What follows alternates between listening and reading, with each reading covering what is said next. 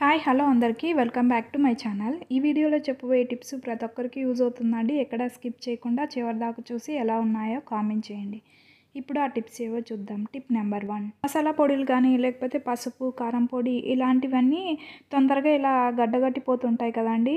So వాటిలో ఉన్న moisturiser పోయి తొందరగా గడ్డలు కడుతుంటాయి. అలా కాకూడదు అంటే ఇట్లా మసాలా పొడిలోకి కాస్త ఉప్పు వేసి కలిపి ఉంచితే అవన్నిటివి తొందరగా ఇట్లా ఉంటలు అనేటివి కట్టవండి. గడ్డలు గడ్డలు అసలు కావు. అలాగే ఉంటాయి. సో ఫ్రెష్గా కూడా అనిపిస్తాయి ఈ పౌడర్స్. సో ఈ టిప్ని అయితే తప్పకుండా ట్రై చేయండి.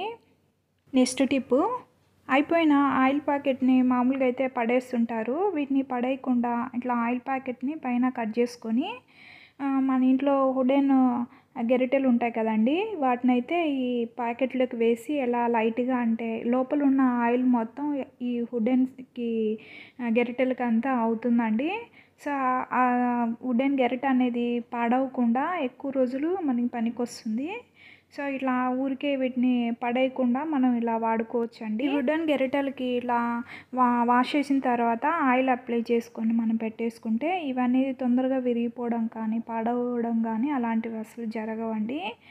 సో వీటిని వేస్ట్గా పడేయకుండా మనం ఇలా వాడుకోవచ్చు ఆయిల్ ప్యాకెట్ని. ఇప్పుడు నెక్స్ట్ టిప్పు అందరింట్లో ఇలాంటి వైపర్ ఉంటుంది కదండి. దీనికైతే మనం స్టీల్ స్క్రబ్బర్ ఉంటుంది కదా దాన్ని అయితే వేసేయాలి. ఇలా వీడియోలో చూపించిన విధంగా అటు సైడ్ నుంచి ఇటు వేసేయాలి. ఈ స్టీల్ స్క్రబ్బర్ అనేది ఎటు పోకుండా ఉండడానికి అటు సైడు ఇటు సైడు రబ్బర్లు వేసేయాలండి. సో ఇలా రబ్బర్లు కూడా వేసేయాలి. దీంతో మనం కిచెన్ క్లీన్ చేసుకోవడానికి వాడుకోవచ్చండి. కిచెన్ టైల్స్ ఉంటాయి కదా మురికి పట్టిపోయి ఉంటాయి వాటిని ఒక్కొక్కటిగా క్లీన్ చేయాలంటే కష్టం అవుతుంది ఇలా వేపర్కి స్క్రబ్బర్ వేసి మనం ఇట్లా క్లీన్ చేసుకోవడానికి వాడుకుంటే తొందరగా అవి క్లీన్ అయిపోతాయి. సో మనం చేత్తో రుద్దాల్సిన అవసరం కూడా లేదు. ఈజీగా కష్టం లేకుండా మనం ఇట్లా క్లీన్ చేసుకోవచ్చు. దీన్నే మనం బాత్రూంలో టైల్స్ ఉంటాయి కదండి అలాంటి టైల్స్ని క్లీన్ చేసుకోవడానికి కూడా వాడుకోవచ్చు. ఈ టిప్ ఎలా అనిపించిందో నాకు తప్పకుండా కామెంట్ చేయండి. ఇప్పుడు నెక్స్ట్ టిప్ మంచి మంచి డ్రెస్సులకు కానీ శారీలకు కానీ ఇట్లా పిన్నులు పెట్టుకున్నటప్పుడు అవి ఇరుక్కుపోయి కొంచెం వరకు చినిగిపోవడం అలాంటి హోల్స్ పడడం అలాంటివి జరుగుతూ ఉంటాయి. సో అలాంటి ఇబ్బంది ఏం లేకుండా మనం పిన్నులు పెట్టుకునే ముందు ఇట్లా ఇలా పిన్నుకి మనం రెగ్యులర్గా పెట్టుకునే స్టిక్కర్ని వేసి పిన్ను పెట్టేసుకుంటే ఆ పిన్ అనేది ఇరుక్కుపోదండి. ఆ చున్నీలకు కానీ లేకపోతే శారీకి కానీ అసలు పిన్ అనేది ఇరుక్కుపోయే ఛాన్స్ ఉండదు. డ్రెస్సులు కూడా అసలు పాడవు అండి సో ఈ ఐడియా ఎలా అనిపించిందో తప్పకుండా కామెంట్ చేయండి. నచ్చితే నా వీడియోకి ఒక లైక్ చేయండి. నెక్స్ట్ టిప్ మనం రెగ్యులర్గా వాడని శారీలు ఉంటాయి కదండి పట్టు చీరలు కానీ ఇంకేవైనా ఫ్యాన్సీ శారీలు కానీ మనం ఒకసారి వాడేసి ఇలా బీరువాలో కానీ లేకపోతే సూట్ కేసుల్లో కానీ అలాగే పెట్టేస్తుంటాము. అలాంటి టైంలో ముగ్గు వాసన వస్తుందండి అదే డిఫరెంట్ స్మెల్ వస్తుంది. అలా రాకూడదంటే ఒక టిష్యూ పేపర్లోకి జవాది పౌడర్ ఉంటుంది కదా సో ఆ జవాది పౌడర్ వేసేసుకోవాలి. దాంతోపాటు మనం ఫేస్కి వాడే పౌడర్ ఉంటుంది కదండి దాన్ని కూడా ఆ టిష్యూ పేపర్లోకి వేసేసుకోవాలి. జవాది పౌడర్ లేకపోతే దానికి బదులుగా మనం కర్పూరాన్ని పొడి చేసుకొని వేసుకోవాలి.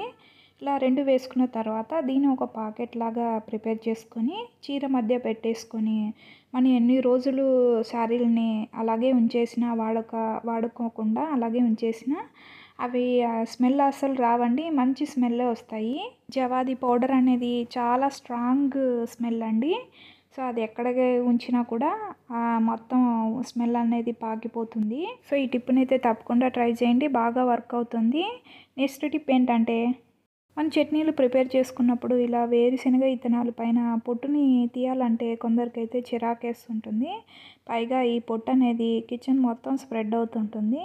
అలా కాకూడదంటే ఈ చిన్న సింపుల్ టిప్ని అయితే తప్పకుండా ఫాలో అండి ఇలాంటి డీప్ ఫ్రై చేసే గరిటెలు ఉంటాయి కదండి చిల్లుల గరిటెలు. వాటిలోకైతే విత్తనాలు వేసి ఇట్లా లైట్గా జల్లించారనుకో పొట్టు అనేది ఈజీగా వేరైపోతుందండి. మనకి పెద్దగా కష్టమే ఉండదు సెరగనవసరం లేదు ఈ విత్తనాలని ఇలాగ మనం పొట్టు అనేది ఈజీగా తీసేసుకోవచ్చు. చూడండి ఈజీగానే పొట్టు అనేది వేరైపోయింది. సో ఈ ఐడియా ఎలా అనిపించిందో తప్పకుండా కామెంట్ చేయండి. ఈ టిప్ నచ్చితే నా వీడియోకి ఒక లైక్ చేసి నాకు సపోర్ట్ చేయండి. ఇలాంటి మరిన్ని వీడియోస్ కోసం అయితే నా ఛానల్ని సబ్స్క్రైబ్ చేసుకోండి. Thank you for watching.